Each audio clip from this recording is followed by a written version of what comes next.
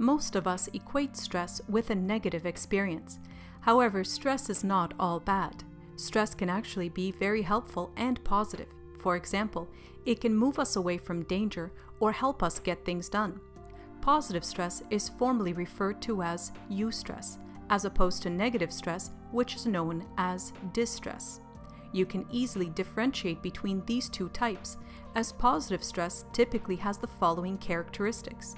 It is motivating and helps us use our time and energy effectively. It is acute or short lived. It is perceived as something we can manage. It feels exciting or inspiring. It improves performance and or productivity within our personal and professional life. Examples of stressors that can result in positive stress include receiving a promotion or raise at work, starting a new job, school program, or relationship, making a major purchase, making a big life transition, such as having a child or retiring, taking a vacation, or various holiday times. You can freely enjoy such experiences and the array of feelings they bring.